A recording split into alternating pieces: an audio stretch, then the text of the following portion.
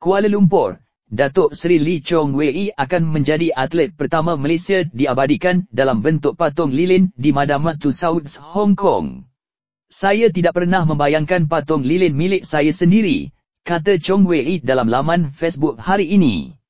Terima kasih Madam Itu Saud Kong atas penghormatan ini dan saya sangat berbangga menjadi atlet pertama Malaysia berada dalam senarai.